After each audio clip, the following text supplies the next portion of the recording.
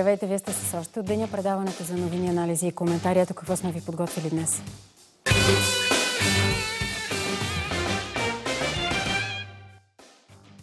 Здравната система в изпитание. Има ли изход и какво предлага левицата? Говори професор доктор Георги Михайлов от БСП. И още. Кризата като тест. Какъв е урокът? Анализ на социалния антрополог Харалан Александров.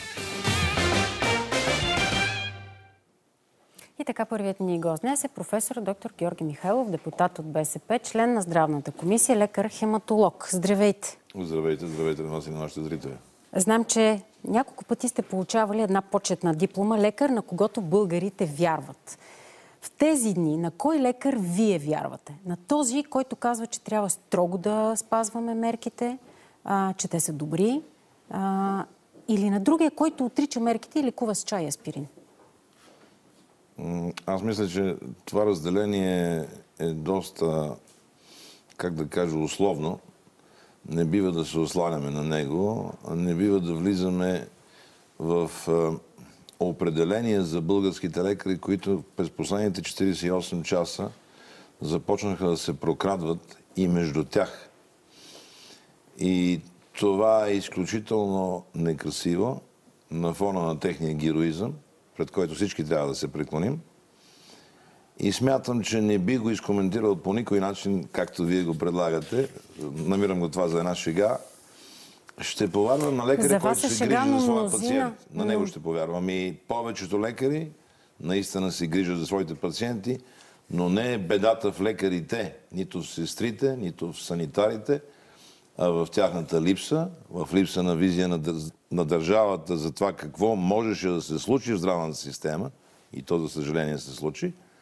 И всичко това доведе до това, което всички сега говорим от сутрин до вечер и от вечер до сутрин за така наречената, а тя не е така наречена, тя е истинска здравна криза. Само, че тази здравна криза, за да завърша, води след себе си като посестрими още по-сериозни неща. Економическа криза, психологическа криза, културна криза, ако щете, и какви ли не други рекурси от нашия обществен живот, които ние все още не подозираме, че ще се случат следващите месеци.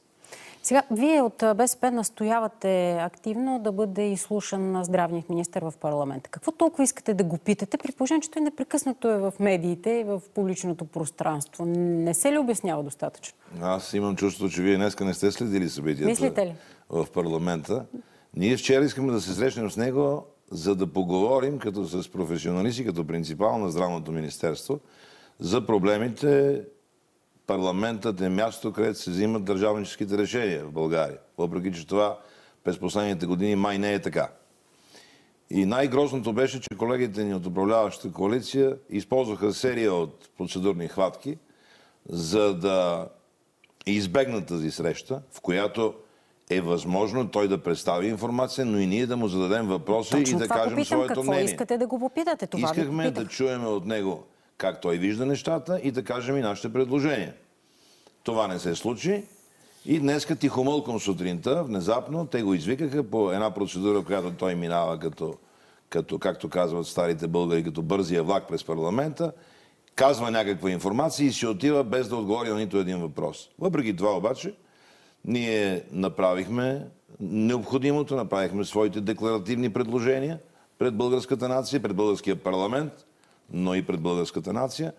А те смятаме, че са сериозни и са свързани с проблеми, които и до момента не намериха в рамките... Аз днеска си прегледах нашата среща с вас от март месец тази година. За съжаление, от тогава, когато говорихме в същото студио с вас до сега, нищо не се е променило, независимо от големите обещания, че трябват нещата да се пренастроят, системата да се пренастрои, да се урегулира така, че да посрещне тази криза, която ние очаквахме през есента и всички специалисти в света очакваха. Никой не се надява, че тази втора вълна ще ни подмине, ще подмине света, но това не се случи. И първото нещо, което ние предложихме, това беше тестването на населението, което е една от основните, един от основните желони за овладяване на ситуацията чрез нейното познаване и което и до момента в България не се извършва в необходимите обеми. Аз си позволих да направя справка в статиста. Организацията, която се занимава с контрол на всички изследвания за COVID на територията на Европа, Ние отново сме в последните редици. Зад нас са държави, които са несравними с нас по човешки контингент. Много по-малки от нас държави. Там е нормално да има по-малък брой изследвания, абсолютен. Но ние изоставаме от всички балкански държави, за съжаление, като брой на тествани хора. И още по-големия проблем, който ме боли страшно много, и това беше нашето първо предложение, и основното ни предложение, което ще залегне и в бюджета, защото и там има недомислие. Да, си искаме за това да поговорим да, след малко. Да бъдат безплатни. Така, Повтарям го, безплатни. натъртвам го, безплатни тестванията на българските ще струва граждани. това? И да не, Сметнахте да ли не започнем сега да се обясняваме.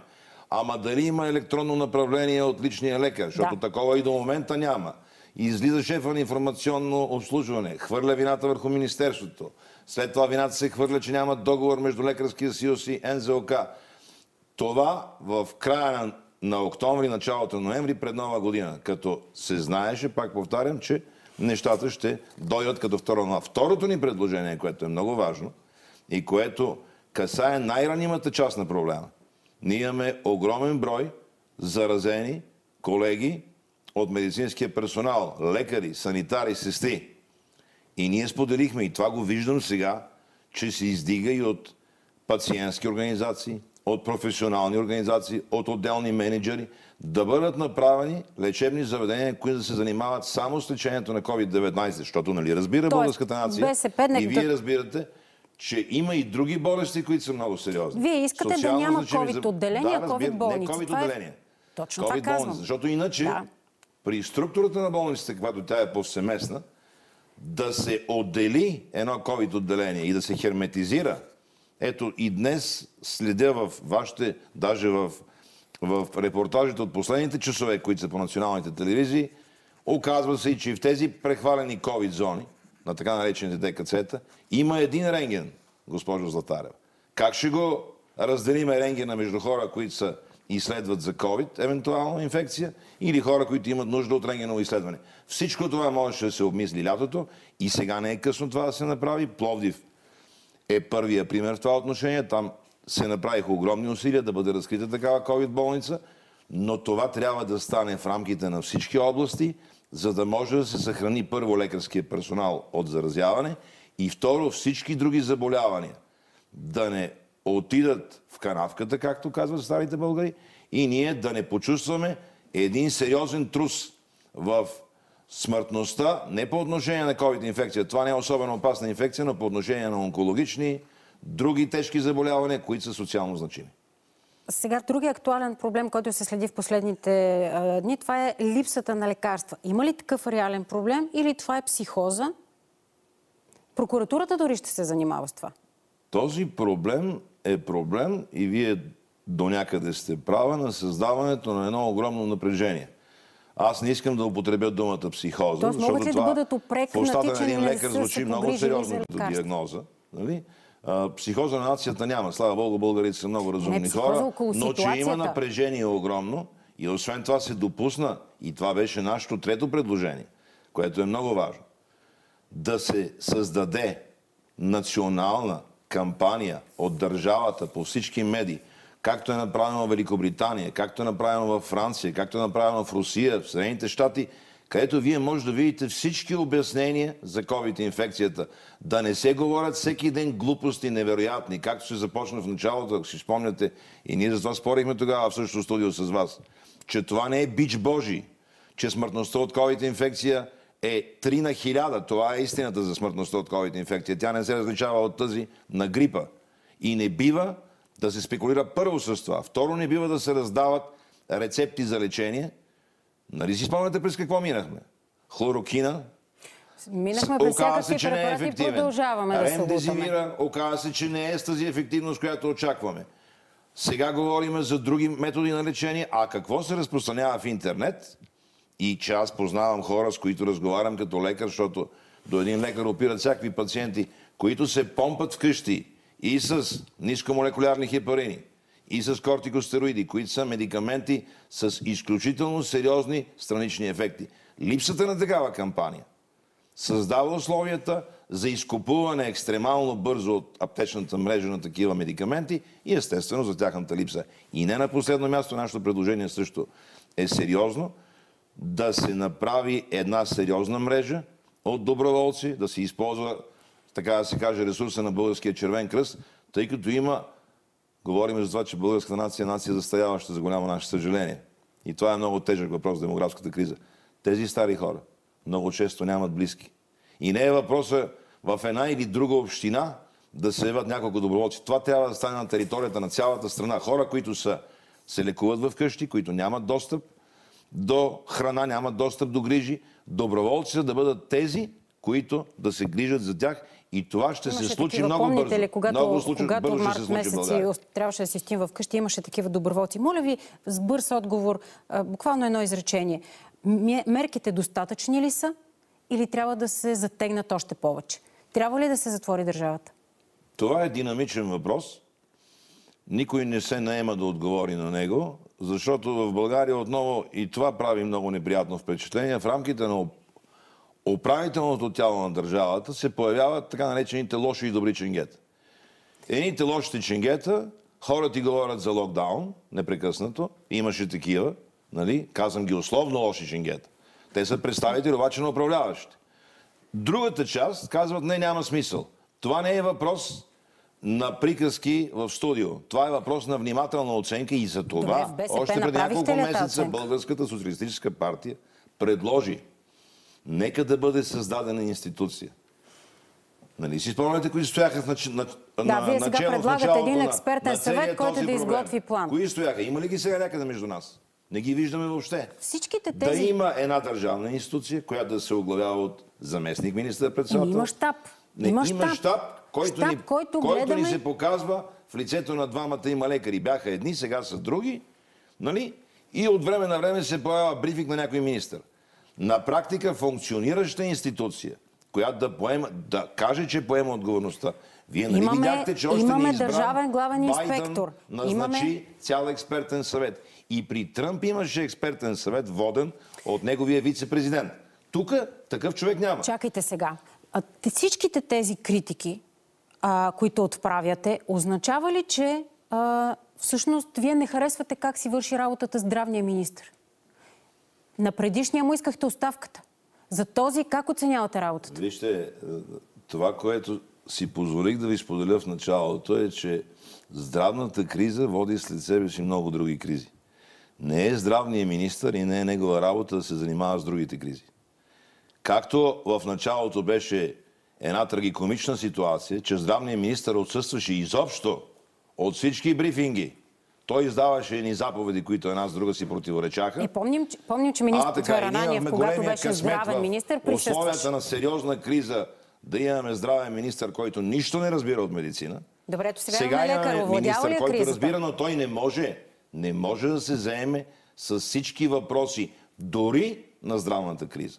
Той трябва да бъде подпомогнат от експерти и на следващо място, цялата държава, нейното управление трябва да бъде включено в решаването на всички проблеми, които проистичат. Тъй като ако продължаваме по този начин да вървим напред в кризата, ние ще отзовеме пролета действително пред много сериозни економически, Вървим- социални и психологически проблеми. Вървим към финал на разговора, затова така няколко въпроса, които ми останаха, ще ги обобща в един. Представихте днес альтернативния си бюджет. Имате конкретни идеи за справяне с а, кризата. Обаче, казвате, альтернатива има. Това е заглавието, с което се явихте днес, така, мотива. Обаче, сигурни ли сте, че хората наистина ви припознават като альтернатива, защото въпреки ударите, които в момента управляващите понасят, социологията показва, че сте на паритет, т.е. не ви вярват на вас повече, отколкото на управляващите. Вижте, това какво ще се случи на едни избори ще реши суверена българския народ. Социологическите проучвания подсказват едно или друго настроение в един момент. Вие много добре знаете като журналист, по-добре от мене, че в кризисни ситуации социологическите проучвания най-нереално отразяват настроенията на хората. Михайлов, аз така че аз не мога да седна тук да се правя на пророк и да кажа дали ще победи БСП в едни избори. Тя има всички шансове да го направи, тъй като тези, които в момента се тупат в гърдите и сега, и преди 6 месеца, че решават всички проблеми на нацията, се вижда ясно от всеки българин, който наблюдава ситуацията, че не го правят, за съжаление. А какво ще реши народа, това е вече неговото право и той ще определи това своето право съвсем скоро, Добре. предполагам в рамките на няколко месеца. Доктор Георги Михайлов, депутат от БСП, член на Здравната комисия. Благодаря ви за това, че бяхте нас гост. Останете с нас. Продължаваме след малко.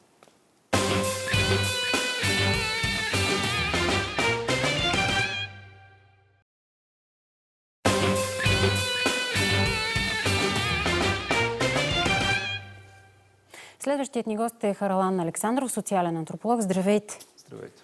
Чувате опозицията?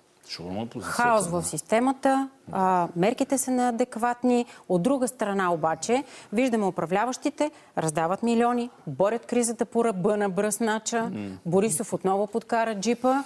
Въпросът е сега здраво ли държи волана и кой кого Е, управлява? това е, да. Това Той всички се кризата вълнуват или... колко здраво го държи. Да. Някой тайно се надяват някакси да му се изпузне и да, да варира, поне така да влезе в канавката, но май няма да се сбъдна тези надежди.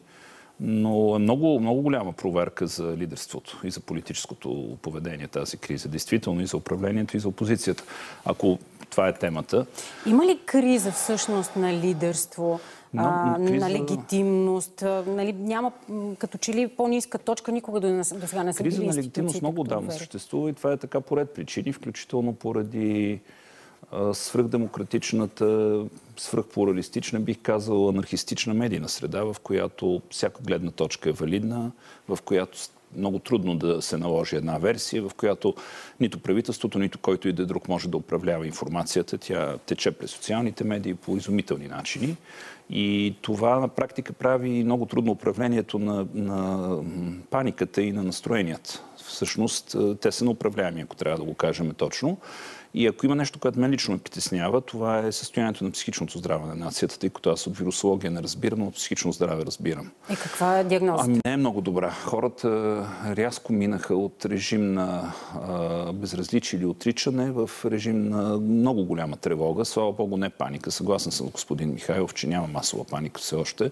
Дано да не влеземе в такава ситуация. Но ето, има първи си- симптоми. Изкупуване на лекарства, от които най-вероятно хората нямат нужда. Трескаво търсене на а, връзки в болничната система с надежда, ако са разболени, някой близък да си осигурят легло и така нататък. И най-интересното, може би това си струва да кажа, тъй като ние го изучаваме с моите колеги, Групата, която е най-паникьосана, тя не е голяма, не е преобладаваща, в много голяма степен се оказа, че съвпада с групата на хората, които енергично, страстно и радикално отричаха съществуването на вируса.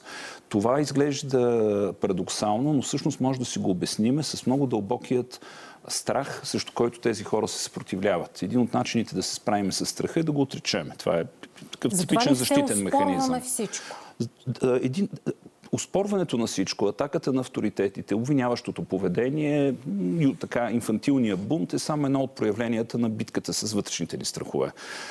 Много по-софистицираните хора, по- по-образованите се справят чрез рационализации, по-малко образованите чрез конспирации. Тоест, някой им предлага готово обяснение, в което обикновено има един център на властта, който е, не, не ни мисли доброто, но това е за предпочитане пред факта, че никой не знае точно какво да се, как да се справи с тази беда и че това е глобален проблем. В Как? този смисъл имаме, имаме сериозен повод за разтревожване и ако говорим за масови страхове, е, сме длъжни да кажем, че страха може да бъде рационален, може да бъде и много полезен, когато наистина има опасност. Ние в когато коя категория сме обаче вече? Ние сме във всички категории. Значи има хора, които са умерено разтревожени. Все по-малко хора си позволяват да отричат реалността на вируса, защото е, той е навсякъде около нас.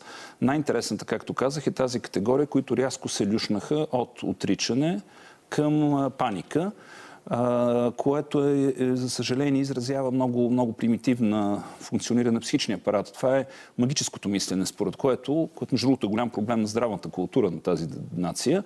Има една категория хора, които отказват да знаят за болестта. На, на принципа, че ако аз не знам за болестта и тя не знае за мен.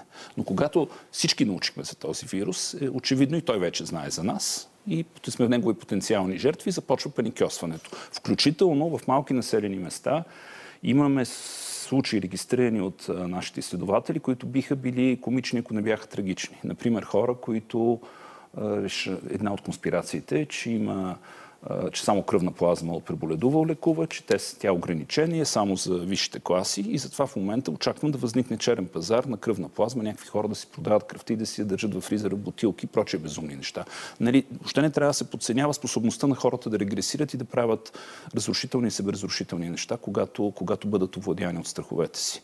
За щастие, преобладаващото впечатление на здравословно разтревожване в момента но все още няма, няма според мен масова паника и е, такива хаотични, е, разрушителни и себеразрушителни поведения в, е, в голям мащаб. Добре, но а, нали а, така най-важната функция на политическите лидери е в момент на криза да обединяват, да постигат някакво съгласие. Ако приемем това за валидно, тогава кой не издържа теста? Ние или политиците?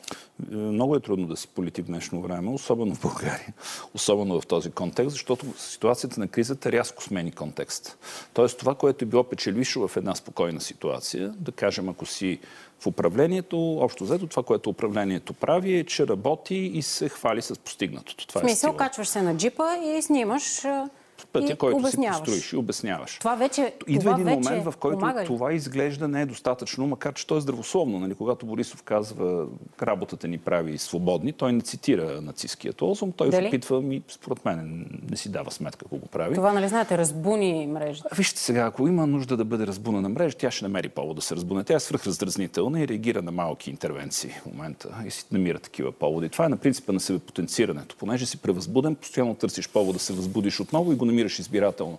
Но необходимо е много повече от това. Съвсем сигурно е, че е необходимо да се намери достатъчно надежден, успокоителен разказ, който да бъде систематично излъчен от всички шалони на управлението. трябва да го направи обаче, след като говорите за криза на лидерство? Кой да го направи? Ами, а... и, как да вя... и на кого говоря... да вярваме, след като експертите да. казват едно, политиците отменят да, тяхното социалните решение? Социалните мрежи казват трето, Точно опозицията четвърто. Сега, привидно в тази ситуация, най-трудно е положението на управляващите, защото е ясно, че се движат по тъна кръп, ясно е, че каквото и да направят, ще бъдат атакувани, ще бъдат критикувани.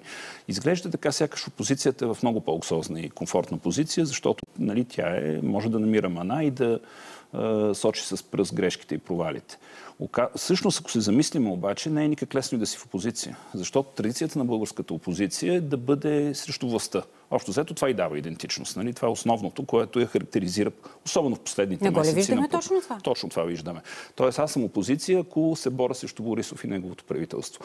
Идва обаче ситуация, и тя рязко дойде, в която всъщност отговорното лидерство изисква да подкрепиш управлението, да сложиш в фризера не кръвна плазма, а ушотията си, омразата си, основателните критики, които имаш към това управление, да стиснеш зъби, колкото и да не ти харесва Бойко Борисов, да някакси по времето на урагана да застанеш до него. След което, разбира се, пак можеш да го нападнеш и пак можеш да се сбият. така не ставаш ли се участник в грешките? Това, това е голяма риск. Значи те трябва да намерят, трябва да намерят много тънък баланс и деликатен между конструктивно критика, нещо, което господин Михайлов отчасти направи, и между подкрепа. Това не е... Оказва се, че повечето български политици, за жалост го казвам, включително политиците от опозицията, няма тази, тази морални, морален интегритет да го постигнат. Те, те са или в черната, или в бялата страна.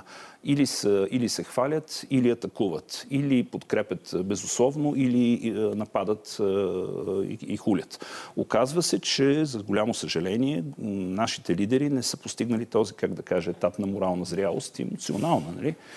И психологическа, в която могат да упражняват отговорно и почтенно лидерство в криза, без да загубят идентичността си, без да загубят физиономията си на, на опозиция.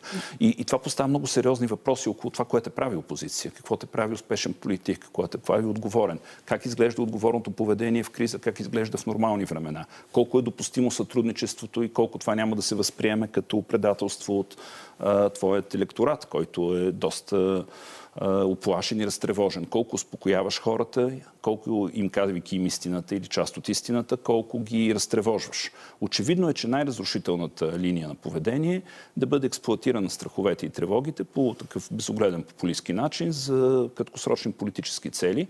Аз много се надявам, че ще удържат този мерак българските лидери. Няма и политици, няма да се отдадат на, на разрушителните си нагони Предстои да видим дали ще е така, но моята надежда на е, че... На полето на популизма ли в момента се води най-голямата битка Ние- и между кого всъщност е основната Ви- винаги, политическа винаги битка сега? последните няколко, може би последните десетина години, битката е изцяло изнесена в полето на популизма. Добре, а после след популизма какво?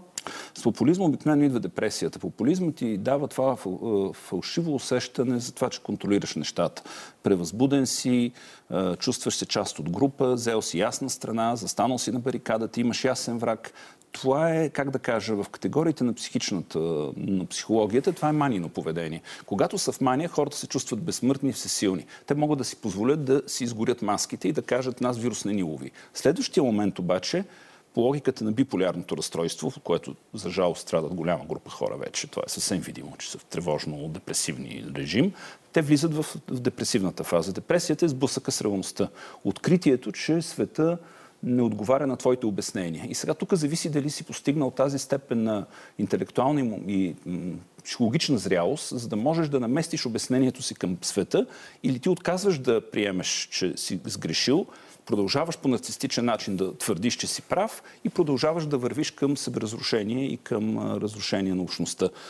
Има много примери в историята, в която значителни групи хора са избирали да се държат себеразрушителни, в която по правило се намират разрушителни лидери, които да ги поведат към катастрофа. Това няма никаква причина да не се случи отново. Особено в ситуация, в която на практика, както казахме в началото и мисля, че се съгласихме, и нямаме никакъв контрол върху информационните потоци. Голямата битка в политиката днес между кого е? Между двамата генерали ли? Не, голямата битка в политиката е между здравия разум и между, между манината превъзбуденост. Това е голямата битка. И този, който запази здравия си разум и който успее да остане едновременно във връзка с реалността и, да, и във връзка с хората, който успее едновременно да отчете императивите на економиката, императивите на епидемията и на здравето и успее да мине по този тесен ръб, както го нарече Томислав Дончев, мисля, или между сила и Харибда да го покара, буквално е ръба на бръснача. Той ще се справи с този тест. Само, че- Останалите, разбира се, ще, няма начин да не се случат Това грешки. осъзнаване обаче не идва ли с помощта на гражданското общество и тази енергия, която видяхме да, продължение на 3 месеца? Да, само че енергията на гражданското общество беше и така големия подем беше ориентиран към това да се промени управлението. Това беше и задачата Тоест, на протеста. провали ли в момента, се идеята? очевидно, очевидно, нито едно Нищо ли не се промени с Ами аз освобождаване ли- на тази това, енергия? Това според... Е, улекна им на хората и според мен в момента се, се чувстват Е, по-спокойни. няма ли това да се обеца за следващите?